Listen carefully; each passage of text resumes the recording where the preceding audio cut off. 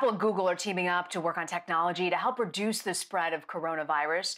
The COVID 19 tracing technology will use Bluetooth to help notify someone if they've been in contact with someone who's infected. The two companies plan to actually roll out this technology on their operating system next month. Nick Thompson joins me now. He's a CBS News contributor and editor in chief of Wired. So, Nick, tell me, how is this going to work? It's pretty complicated, but also pretty interesting. You'll have an app that you install on your phone, either Android or iPhone, and it will track what phones you've been near. And then, if somebody tests positive for coronavirus, they will upload their information to the cloud. And if you've been near them, you'll get an alert. So if you've been within roughly 30 feet for five consecutive minutes, you'll get an alert saying someone you've been near has tested positive for COVID 19. You won't know who, you won't know where it was, but you can still then take action. Nick, so much about the transmission is also about these people who are asymptomatic. They just don't have the signs.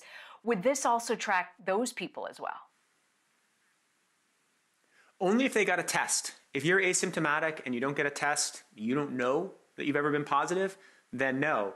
But if there ends up being a period where we have mandatory testing, or testing becomes so easy and we all just get tested every two weeks, then even somebody who's asymptomatic and tests positive could have that information uploaded, and then everybody they've been near would get an alert, and that would be a very helpful service. Mm, testing. It always comes back to testing, as I keep hearing over and over again. Nick, I'm curious also when you talk about technology, what are the privacy concerns when you're weaving in a health epidemic like this? I mean, they're massive. And so the most interesting thing that happened is Apple and Google had to make a choice about how they would collect this data. They could have used GPS information, they could have used Bluetooth information.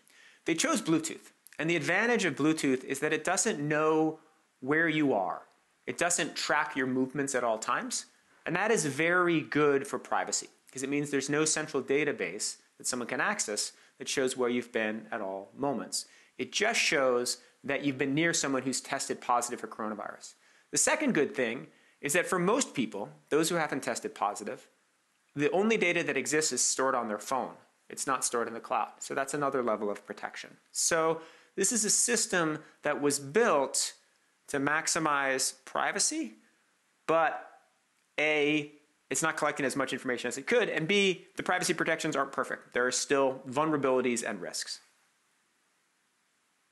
Can you think, Nick, of an instance where technology has been used in this capacity for something like this? Oh, it's being used in very similar ways in Asia. I mean, Singapore has a system much like this. Taiwan, China. There are many other countries that have governments that are more willing to give direct orders to people, people who are more willing to use technology for this purpose, where this is in place. It just hasn't been put in place in a Western democracy where we don't like taking orders, we're really concerned about privacy. But these are unprecedented times, and people are willing to make trade offs they would never have made before. That's such a great point. Willing to make trade offs that they weren't willing to make before. Nick Thompson, thank you very much for joining us. Thanks so much for having me here.